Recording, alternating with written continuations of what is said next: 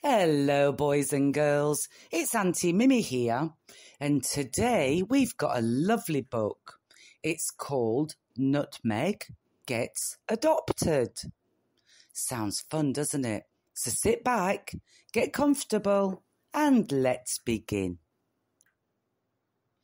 Nutmeg lived with his mummy and daddy, his sister Poppy, and his baby brother Hops in a nest in a big beech tree.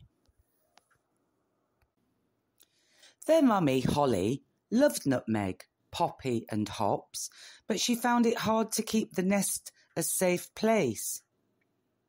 Once, Nutmeg fell through a hole all the way down to the bottom of the tree. He hurt himself and started to cry. Mummy Holly picked him up and climbed slowly back to their nest. Nutmeg liked to play with Poppy and Hops, and he made friends with the little grey mice who lived in the hole underneath their nest. Sometimes, if Nutmeg was sad or thinking very hard, he would cuddle up to one of the little grey mice and snuggle close to their warm fur. Sometimes Mummy Holly hadn't gathered enough acorns and Nutmeg was hungry. Sometimes the rain came in through the holes in the nest and he was cold. Sometimes big fierce squirrels would come and visit. They shouted and one of them hurt Nutmeg. Another stood on his tail and made him cry. Sometimes Mummy Holly and Daddy Pepper shouted at each other and Nutmeg would put his paws over his ears and hide his face. Nutmeg was very thin, and his fur was very dirty. Mummy Holly was too tired to comb it with her paws. His bushy tail became very tattered, and it didn't keep him warm when he curled it around himself at night.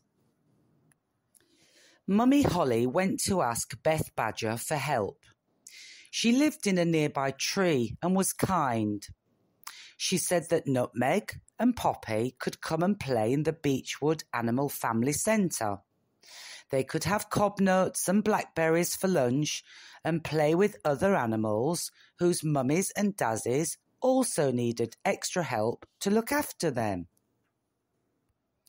Mummy Holly could stay at home with baby Hops and rest, and a friendly lady squirrel would try to help her to be a better mummy. Beth Badger said that Nutmeg and Poppy would be at home each day in time for tea. For a while things were better, but Mummy Holly and Daddy Pepper would still quarrel, and one day Daddy Pepper went away. Sometimes Mummy Holly stayed in bed very late in the in the morning and left Nutmeg and Poppy to play by themselves and look after baby Hops. One day Hops fell out of the nest. Mummy Holly was very worried. She went to see Beth Badger again. She took Nutmeg, Poppy, and Hops with her. Mummy Holly said, Beth, I've tried hard to build a strong nest for Nutmeg, Poppy, and Hops, but it's very hard work. They keep falling through the holes, and I can't look after them. I can't find enough acorns, and they are hungry. I am very lonely because I can't go out and play with my friends. Some of them are very fierce and growl at the squirrels, and I can't keep my babies safe. Beth Badger looked very serious. She looked at Nutmeg, Poppy, and Hops, and she shook her head. These little squirrels are cold and hungry and frightened by the fierce bad squirrels. This isn't good, she said. Beth Badger thought very hard. She looked carefully at Mummy Holly. You love your little squirrels, she said but you can't look after them. Do you want me to find a warm nest for them with two squirrels who will look after them and love them and keep them safe? Mummy Holly said, I am sad that I cannot look after Nutmeg, Poppy, and Hops and keep them safe. I wish I could do it, but I have tried and I can't. I want someone to love them as much as I do and feed them on nuts and juicy berries and read them stories and tuck them into cosy beds at night. I shall always think about them Sometimes I shall miss my little squirrels and feel sad, but then I will think of them having fun and being happy, and that will make me glad.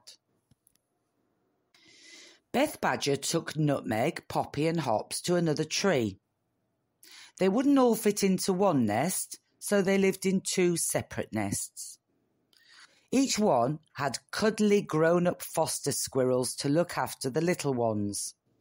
Nutmeg was very glad that he could visit Poppy and Hops and play with them. Sometimes Mummy Holly came to see them. After eating good food and being safe and warm, Nutmeg's eyes grew bright and his fur grew soft and shiny, and there were no fierce squirrels to frighten him. After a while, Beth Badger found a nest which was big enough for Nutmeg, Poppy, and Hops, and where they could all be together. The foster squirrels who looked after them were very kind and they played with the children. It was a very busy nest. Nutmeg was happy most of the time, but sometimes he wanted to have a mummy and daddy squirrel of his own and be like other little squirrels. He knew that Beth Badger was looking for just such a special family. Nutmeg hoped that there would be a little grey mouse to play with in his new nest. One very special day in autumn, when the acorns and conkers were growing on the trees and the sun was shining, Beth Badger brought a new mummy and daddy squirrel to meet Nutmeg, Poppy, and Hops. They talked and played together lots of times, and then Nutmeg, Poppy, and Hops went to live with their new parents. Mummy Fern had bright eyes and was very cuddly, and she had clever paws for making nests and squirrel food. She taught Nutmeg, Poppy and Hops to explore the big wood and took them paddling in the little pool where the birds washed their feathers. Daddy Foxglove was big and strong, and Nutmeg felt very safe when he was carried on his daddy's back. Daddy Foxglove liked singing songs to Nutmeg, Poppy, and Hops, and was very good at telling bedtime stories. Nutmeg's new home was warm and comfy, nest in a big oak tree with a cosy bedroom for him to share with Hops and a tiny room for Poppy. It even had a little grey mouse who liked to play.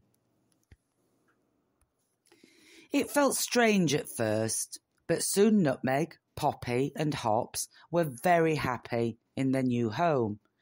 Sometimes Nutmeg would remember Mummy Holly and Daddy Pepper and feel sad. When this happened, Mummy Fern would put her paws around him and wipe away his tears. She told him that it was okay for him to carry on loving Mummy Holly and Daddy Pepper. They loved him and had tried their best to look after him. Mummy Fern told Nutmeg that love was like a candle flame, and it was quite easy to love two mummies and two daddies. She said that she and Daddy Foxglove loved Nutmeg, Poppy, and Hops all the same, and they would always have enough love to go around. Nutmeg didn't want to move any more. He wanted to stay in his nest in the big oak tree.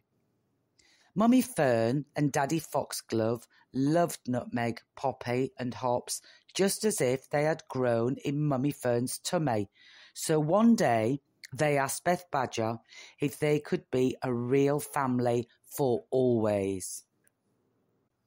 Beth Badger was very pleased. She said that she would tell the wise owl who ruled the forest. The wise owl was very pleased. He said that in the springtime, when the grass was green, Mummy Fern, Daddy Foxglove, Nutmeg, Poppy and Hops could all come to see him. He would give them a very special piece of paper which meant that they would be a real family and stay together in their snug little nest in the oak tree till Nutmeg, Poppy, and Hops grew up. They were all very happy and were looking forward to their big day. I hope you enjoyed today's special little book, boys and girls. And as always, I want you to be kind to one another. I want you to look after one another. And every day, try to find some happiness and have some fun. Until next time, bye bye.